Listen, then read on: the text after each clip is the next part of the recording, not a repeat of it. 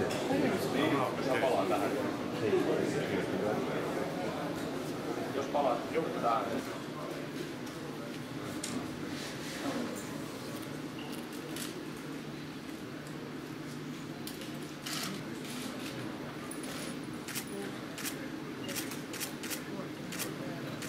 No niin, kello on kolme ja tervetuloa kaikille. On tarkoitus puhua sananvapaudesta, itsesensuurista, ja siitä, miltä tämä maailma näyttää tällä hetkellä. Ää, esittelen kohta vieraamme ja tuun vetää tämän setin. Tämä koko paneeli tulee olemaan englanniksi, koska meillä on ruotsalainen vieras täällä. So, welcome all to this discussion panel. It's all about freedom of speech, freedom of expression, security, safety, self-censorship, and censorship and human rights in general, and how these are related. What is happening in the world, what is happening in Europe, and what interests us most, what is happening in the Nordic countries. Minä olen äh, Lars Vilks. What I want to say, the first word is the word fright. Fright is the problem, and uh, that is also uh, part of the problem of freedom of speech. People are afraid. And uh, to be here today is a, one of my few possibilities to come out, to say something. Uh, I think there is some urgent point concerning freedom of speech. And uh, finally, Al-Qaeda uh, found that this was an interesting object.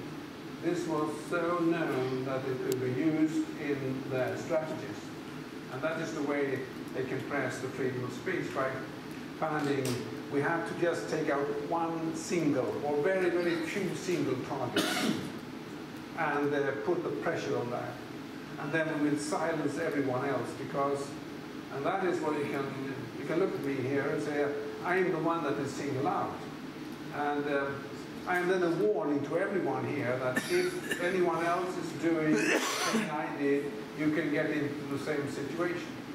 And also, you, we create that by going into the same room as I am, you are at risk. Because someone could make a terrorist act, and then people around me could be killed. So, so I'm a kind of danger. And, uh, and that's how terror works.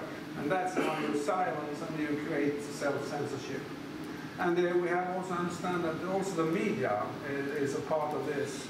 Because um, what can you do um, as some sort of um, media when when um, uh, when you have this uh, threatening going on because um, um, the terrorists are also very aware that the media is an actor that is also to be pointed out. And, and um, the fight is of course the same uh, concerning the media. Most media in Sweden are, are uh, securing their offices, making new entrances, making it more difficult for things. Uh, it's, it's a costly program they have to surround themselves by security, and of course that they avoid to be controversial in many senses. We have to understand that as long as the uh, freedom of speech is legal, it is legal and can be used.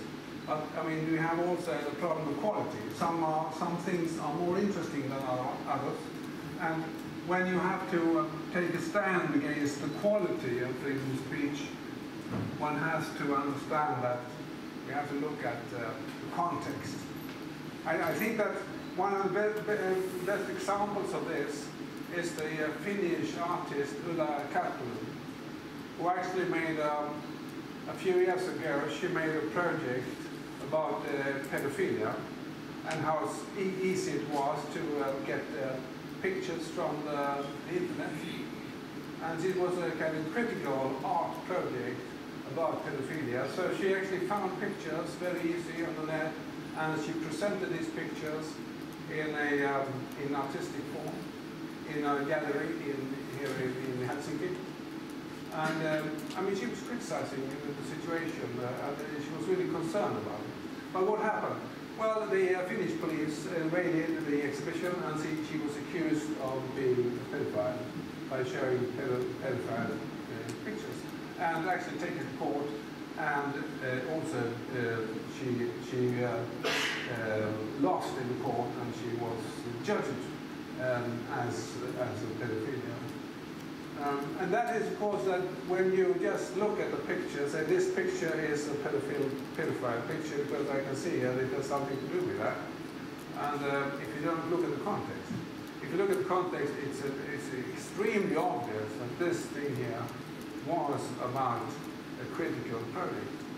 And, and today we have entered a situation that anyone who actually looks at something and say, oh, I've been insulted. So that's enough. You don't have to take care, you don't have to take into consideration anything about the context around it.